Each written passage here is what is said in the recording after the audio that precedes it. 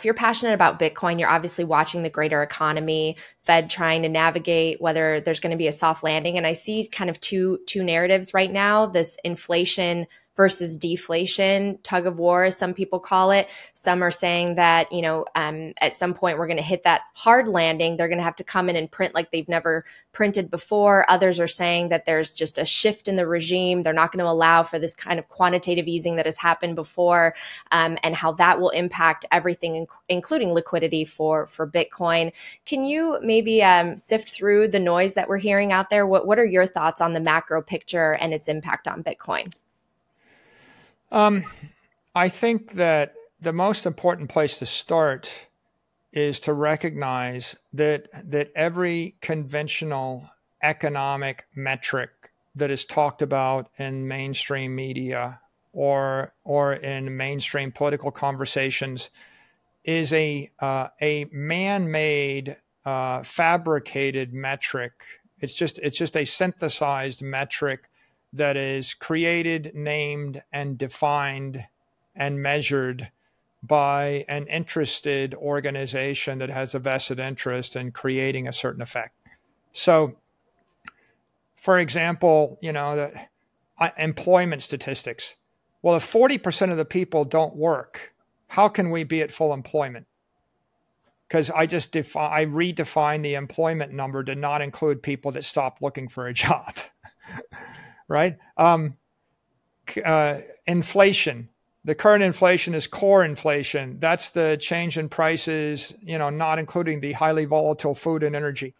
Okay, so if I don't use energy and I don't use food and I pick other things, any arbitrary things, and I measure them in any arbitrary way, I can uh, generate any arbitrary number. But what number do I want? I want a low number because I've indexed uh, pensions and indexed my cost to that number.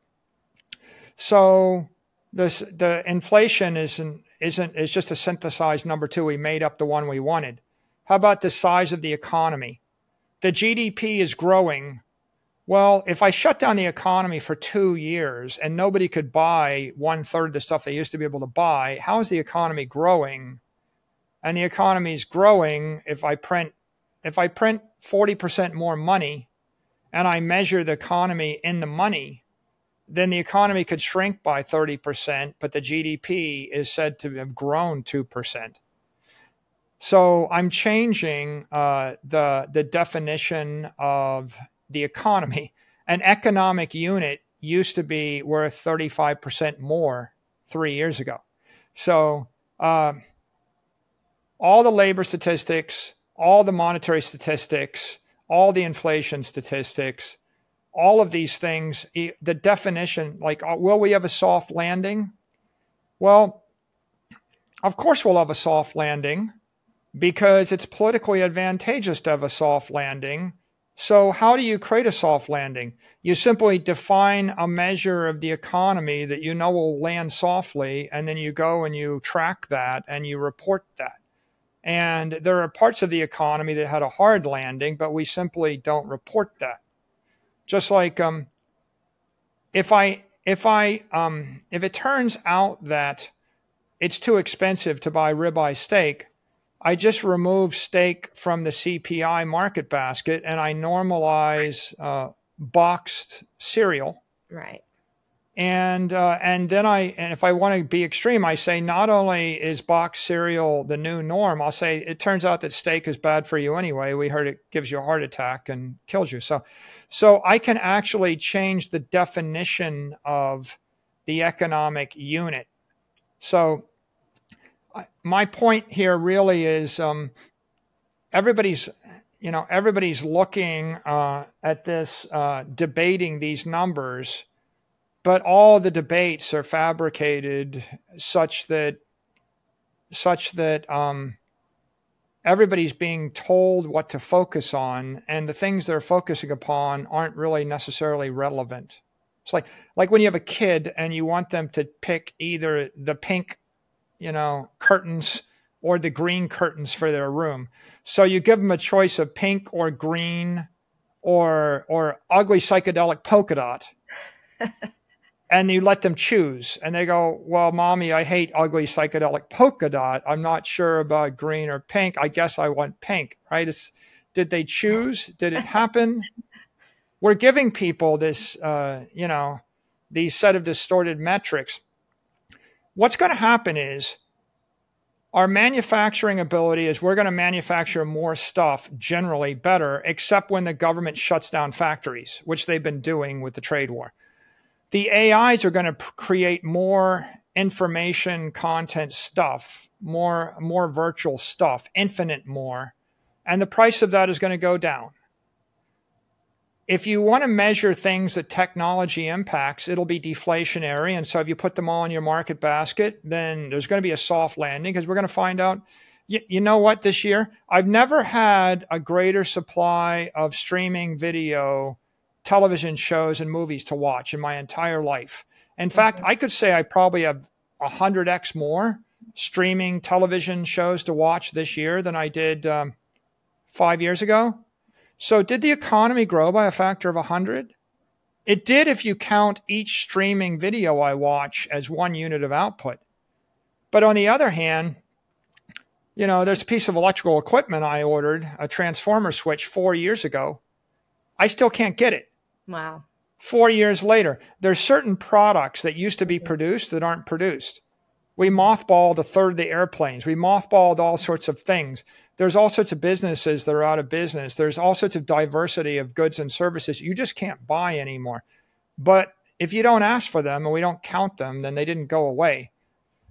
So I, I guess what I'm trying to say here is there's a lot of conventional debate in the macroeconomic sphere about conventional synthesized metrics. And the GDP results don't track the economy. The inflation results don't track the price of stuff. You know, the uh, the the rate of change, you know, uh, sector to sector doesn't necessarily track what you think it tracks because the people that create the metrics have uh, too much flexibility with regard to what they choose to measure and how they choose to measure it. There's an old um, there's an old saying in the propaganda business. You can't tell people what to think, but we can tell them what to think about. Mm-hmm. Very true. Right. So I can create I can create a crisis by lassoing a set of commonplace events and putting them all on one page and like shining a flashlight at it and saying, you have to cope with this, you have to address this. And I can diffuse a crisis by simply ignoring an overwhelming set of negative events.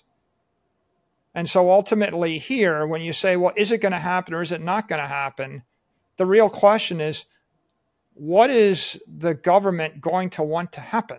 What is the mainstream consensus going to want to happen?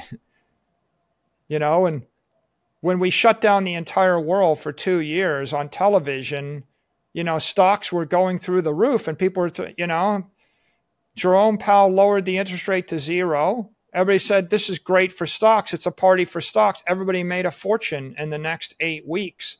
And it's, they're completely diverge from reality, right? We delaminate from reality, and people talk about synth- synthetic interpretations. So ultimately, when, that's why I wouldn't engage in discussion about will we get will we avoid the hard landing will we have the hard landing you know is the economy shrinking or growing you know, you're debating about whether there's uh, mainstream people are debating whether we have two or three percent inflation. Mm-hmm. The true monetary inflation is ten percent, except where it's twenty percent or thirty percent. Right. And yet they're debating between two and three because that just keeps everybody in a comfort zone because people would literally freak out. But so if true. they knew, uh, if they had a raw number. So I think oftentimes the um, the the popular mainstream debates are over manufactured, synthesized metrics, which um, which are all wrong, right? And and they they don't address the elephant in the room, like the fact that well, forty percent of the people aren't working. Should they be? Right.